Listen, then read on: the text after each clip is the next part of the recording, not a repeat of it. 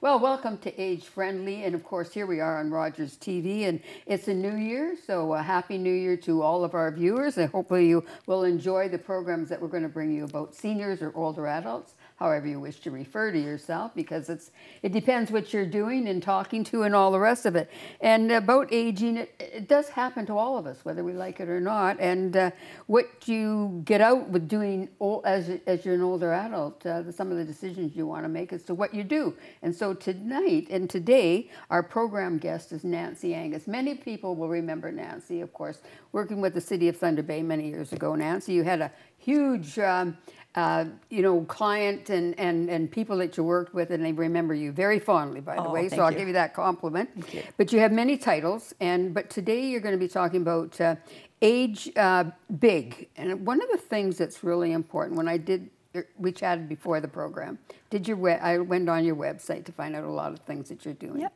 And it is aging aging big and that you don't stop because you're getting older. No, and they always say, you know, okay, Rebecca, I'm four foot ten inches right. tall. Yeah. Um, but I always thought that you have to look big. Sure. Like so, you know, it's really so to me, aging, people say, oh, you get smaller, your world gets a bit smaller. It's true. Like, mm-hmm. you know, physically we shrink, but at the same time, we need to kind of push ourselves out there. And so our acronym for Age Big is bold, inquisitive, and grateful aging. Mm-hmm. And we're trying to inspire people to find things that kind of um, make them them reach out there to connect with people and to activities. There's, there's an old um, image that, that shows a grandmother sitting in a rocking chair in front of a fire, like a fireplace, so to speak, and just sitting there rocking. That was the old age of the older adult uh, many years ago, maybe even decades ago. Now we have older adults, uh, seniors that are that are active, that are that are wanting to be, but we still have those that are really don't do anything. They're isolated, they choose not to, or they can't, or whatever that's. How do we get them involved? Well, right now, yes. people watching this program yes. is one of the best things, and I heard that this is, um, you know, one of the first aging programs in Canada. So right. I applaud you for that, Rebecca, and for Age Friendly to do that. Um, but you know, everybody who's watching the program today, mm-hmm. while you're sitting there watching, you can be doing some activity. That's so right. you could be doing a little bit of just moving your arms. So you can sit, everybody that's sitting at home, I run a program called Ageless Grace, which is a fitness program. And uh, we do kind of silly things like this from seated positions. Mm-hmm. And they're really important uh, for just keeping us moving in some way. So we don't have to sign up for a class. Mm-hmm. You can just do these little bits of movement. But all the things of getting people that find it more challenging to get out of their home. The television programs, things that you might be able to connect with um, on uh, a computer, is really valuable because you can still build a community. Um, with your neighbors, right. you know, in your home or in your apartment building or around you. As human beings, uh, Nancy, uh, part of our what we, who we are is is communicating with other people. You're, you're not meant to just sit by yourself. That's not who we are as a species, mm-hmm. and and we need to make sure that people have opportunities to do that. If you choose to sit at home, that's your choice, but that's not really healthy at all. Um, I think it's important you sit at home for a while, but then you try to. This is a new year, yes. so this is an opportunity to create some new routines for yourself. And one of the things I think is so important in Thunder Bay is that when you line up in a grocery store, if you can chat to the person beside you in the grocery store, um, it's really important because if you live alone, you recognize that perhaps that one person you're talking to in the grocery store, that might be the only person they talk to right. that day. day. So, you know, we make huge efforts, some of us, to get out of our homes. We're not naturally, you know, gregarious or, um, you know, we're not extroverts. But by just finding one person to have a little chat with, yeah. um, I love it in the, you know, in the community, um, our coffee shops how people, you know, a lot of people are there on their phones, but there's a lot of people who don't have a telephone. And they, they'll just start chatting with somebody else right. at the next table.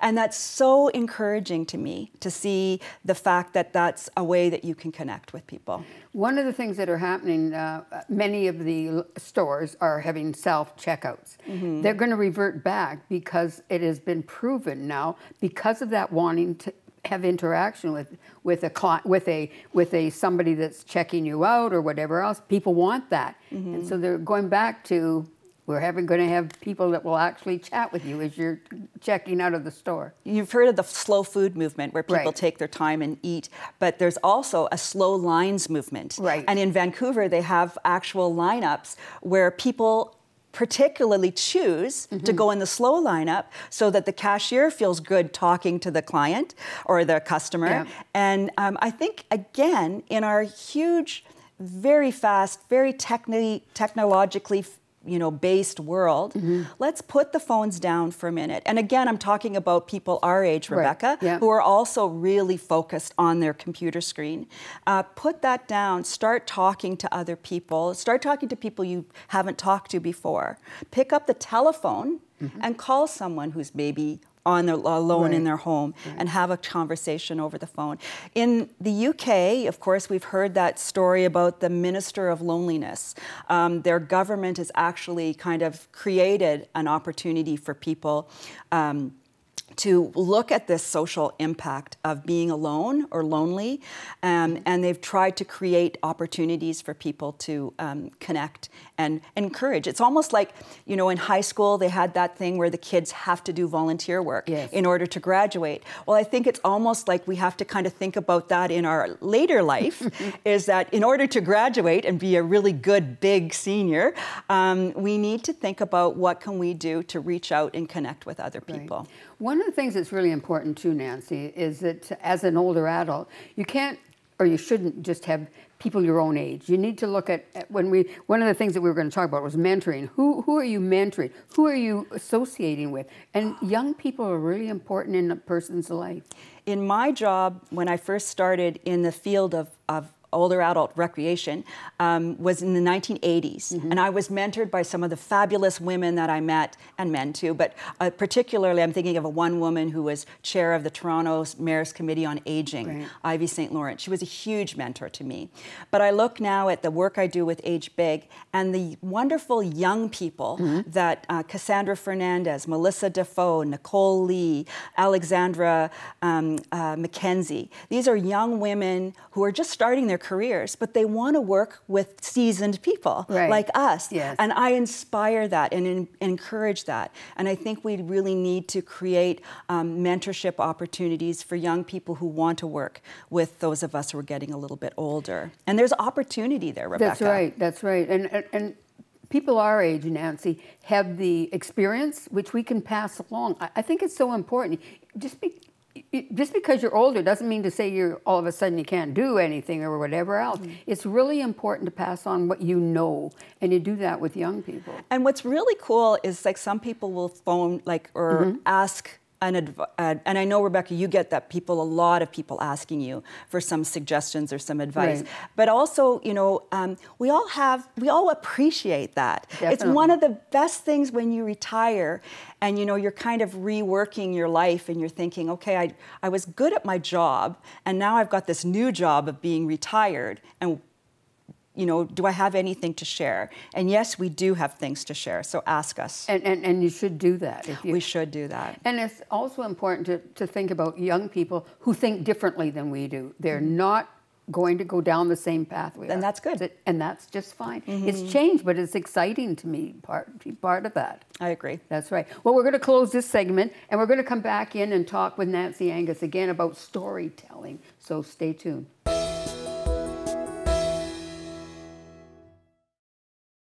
Well, welcome back to Age Friendly, and we're talking with Nancy Angus, who has many titles in our community. I, I hope you don't mind me saying that, Nancy. But we're talking about the fact of Age Big, and of course, it's really an important group that you're leading and, and working with. I appreciate that because it's really helpful for older adults. So thank you for all the work you do in that. It's Been my passion project. Uh-huh. It's been inspired by my mother, Sis Angus, right? Um, who you know well. Yes. Um, and she was always all about um, connecting with people and making new friendships and new opportunities. And so I've just kind of taken that little mantle with Age Big and we've just started put it out there and started getting people to connect right. in some and, way. And, and really, just to, to identify that that the uh, Age Big came out of the Giant, Giants program yes, that you had did. before, yes. which was really good. Yes, and it was storytelling. We focused Great. on digital storytelling, which is three minutes of people, 300 words that people put together. And um, with some of the fabulous young people I work with, we've been able to kind of create those stories as lasting legacies of, of, um, of, of, projects that have meant something to people. And the last one that we did um, was with the Thunder Bay Museum. We had um, a, a, project where we brought together a group of eight older adults that created stories about places and mm-hmm. places in Thunder Bay or elsewhere that meant something to them. But and it was quite a fascinating um, it's quite a fascinating topic. You know, when you just think about your coffee shop or right. um, somewhere else in town that really means something to you, other than your home, other than, you know, maybe uh, where you worked but there's all those other third places they call them. Can you give so me inspiring. a couple of examples of what people yes, came up with? I can, and we'll show you one yes. video that mm-hmm. one person that one person made. Um, parks, Vickers Park, you know, a particular bench that you really like to go at. Marina Park, a certain part of Marina Park that you love to go to. Um, perhaps your church and you're involved in your church or you're involved in the kitchen or you know you, there's things that are a place mm-hmm. that you really feel connected to in the community and it can be just for you mm-hmm. and it doesn't mean that same thing to someone else but to you it's one of the places that you love to go to so then an individual, and you had eight?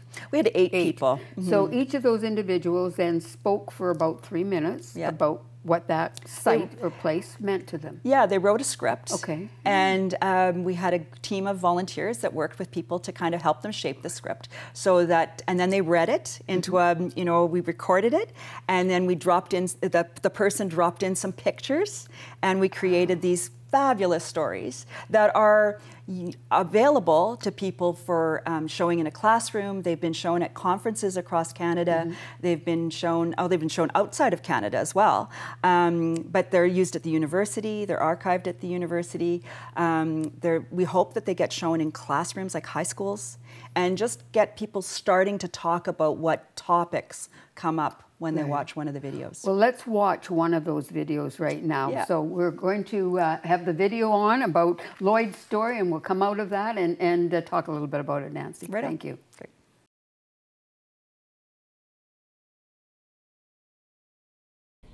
One simple question from my then young daughter How did you end up in Thunder Bay? Well, it was a journey that started a few generations ago. Your great great grandfather started it by seeking a future that would bring hope and opportunity in the land of Gold Mountain. Future in a new land was not without its challenges, but adaptability is within everyone that makes their new surroundings. With the language barrier and very little skills, it was necessary to make their place, meet the needs of the community by simply providing food. Thunder Bay prior to 1969 was two distinctive towns, Port Arthur and Fort William. There were three Port Arthurs, one in Texas, China, and Canada. So why Canada? Maybe because there was one in China. Great great grandfather brought great grandfather, which eventually brought my father, who, along with other relatives, established their own cafe in the early 50s. In time, grandfather was presented with a unique opportunity to look after the canteen at the Fort William Curling Club on the Fort William side of Thunder Bay.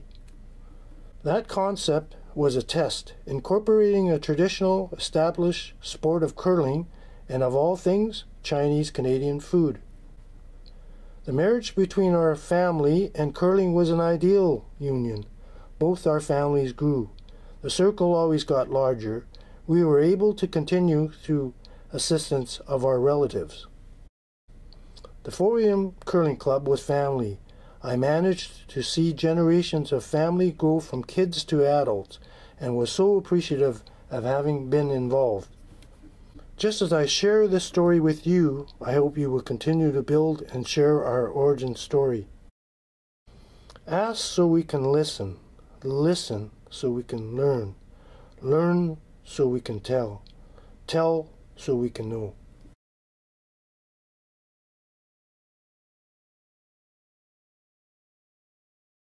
Well, let's hope, Nancy, that people enjoyed watching that. Now, tell me a little bit about Lloyd's story, because I don't know a whole bunch about it. Oh, Lloyd um, is um, a person that um, when we talked about, Lloyd's story was talking about the origin of coming to um, mm-hmm. Fort William. Okay. And um, where he came was um, uh, uh, to the Fort William Curling Club. That's where his, his father was working, he was working, and he talked about raising his family along with all the people who came together right. in, the, um, uh, in the curling club. So it became this community of support ah, and network. So, and you know, a lot of people, my, my husband's dad um, played crib at the Fort William Curling Club. Mm -hmm. You know, after the days when he couldn't curl anymore, he would still go there and play cards. Um, and you know, those are the kinds of some people don't curl, but no. they love the Chinese food. Right. So they'll go, and that that food has constantly brought people together. So that's the place, and that's the really cool thing about the curling club is it's, it's there as an opportunity for sport, but it's it's really a way of bringing families together. Mm -hmm. And Lloyd talks about his family growing up through there and coming from China to Canada, and then now. you know, and and still feeling that he's immersed in his community.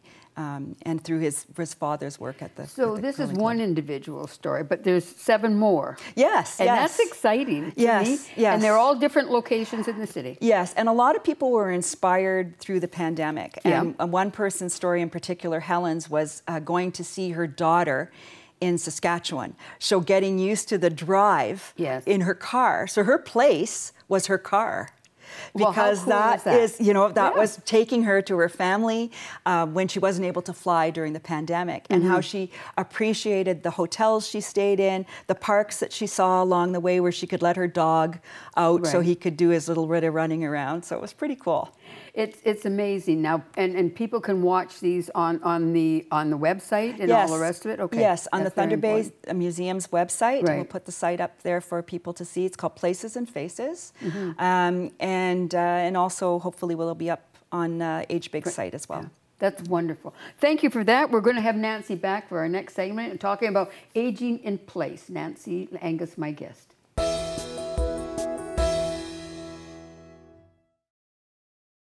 Well, here we are back with Age Friendly, and we're talking with Nancy Angus. And Nancy, how do you age at home? Anywhere. We can age anywhere okay. at home. And you know, the thing is, too, Rebecca, as soon as we're born, we start aging, right? That's correct. so, like it or not, we do. We do. And um, I think that there's a huge movement these days mm -hmm. for people who really, and we're seeing it in Thunder Bay more and more, is people want to stay in their home. Correct. Uh, but we have to be realistic, Rebecca, and you and I are both realistic. Mm -hmm. We know that when we get a little bit older, there are inevitably changes physically with us. Um, you know, our, our senses might change a little bit too.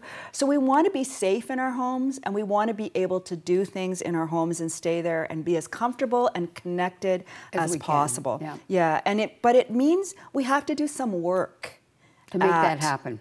We do. And so it doesn't just magically happen. And what ha- you know, and you can talk to anyone who works in a healthcare setting and they'll say what will happen is there'll be a crisis and then mm-hmm. all of a sudden you have to do all your whatever. Yes, and it costs money and it's just mm-hmm. it's frustrating and it's stressful. So let's I think this is a movement that Age Big is on where we want to let's realize that when we get older, we want to make some change. So perhaps it means moving to an apartment, mm-hmm. looking for a great place that you want to be in. But if you want to stay in your house, I want to, I'd like to stay in our house. But I, I realize I have a bathroom on the main floor which is important to me because yes. our bathrooms and making a, a network from, from yep. our bedroom to our bathroom is extremely important. Um, I have a kitchen that is, um, you know, has enough storage for me, but I also have, I've invested in a couple of those things that I can reach how do things I get off up the there? top. No, yes. I got it. Yeah. so yes, how do I get up there mm-hmm. safely? Yes. Um, or do I just need to eliminate some stuff from those top Thank cabinets? Yes. I don't need all those. I don't need the air fryer no, and all that no. stuff. It's like, although the air fryer I really like. so maybe that's one utensil I'll keep. Yeah. Um, so we have to look at. Um, those are fun things, like, you know, just thinking about that. Our bedroom as well, what, you know, our our bed, and the technology now is phenomenal, Rebecca. Like, mm-hmm. there's, there's this huge aging in place technology movement where um, the technicians, the researchers are all helping us by researching what's going to help us in our homes. And they're asking us. So it's nothing about us without us. Right. They're asking us, what do you need to stay in your home? What tech advancement can help you? Um, so I'm seeing phenomenal things going on there that are safety options, like, for example, on your uh, stove, where there's there's um, um, sometimes people have found that they've left their stove on, so there's there's knobs and things that can can, you can give you alerts. Yeah. But um, maybe you need to invest some money in doing something in your home. Like so, for example, um, you know, the, the grab bar in your bathroom. Right. It doesn't have to look institutional. No. I think it's important to keep your house beautiful. Of course. And, um, you know, so, so often, um, people will say, oh, you know, all these things, it's going to cost me money, it's going to be frustrating. But just think, maybe it's not for you, but it's for a guest that comes to visit you. Right. You know, right. eventually it might be for you. but yeah. let's try to be nice to the people who come to see us. So. And, and, you can make it so that it's, and it doesn't have to be really costly. No. A lot of, a lot, a lot, some older adults don't have a lot of money. No. But at the same point in time, to stay in your own home, which is the best, and right. also provincial government are pushing that. They want be it's the cheapest way to look after older mm-hmm. adults is mm-hmm. to stay in their home. Within that context, though, it has to be safe. Yeah. It really has to be safe. Mm-hmm. And how can you manage? And how do you get around and all the rest? So there's things that can be done yeah. at very little cost when you really think about it. And one of the things that we've, you know, we kind of developed through Age Big and through the Giants Project way back with Age Friendly was um, a team of 8 mm-hmm. And, you know, a lot of us got really comfortable with those teams during the pandemic. Right. Good things came out of the pandemic. Yes. So let's keep those good things. So your team of eight is not just somebody to come and fix your toilet or fix your runny tap, but it's also the person that you like to call down the street just to say hi, how they're doing. Um, it's somebody else who can um, uh, shovel your snow for you or something, or it's um, a ride to church. Yeah. So those kinds of things that are really important, but we have to really work. And yes, a circle of eight is really lovely to have, but that's a lot of people on your team. So maybe think I'll start with a circle of four.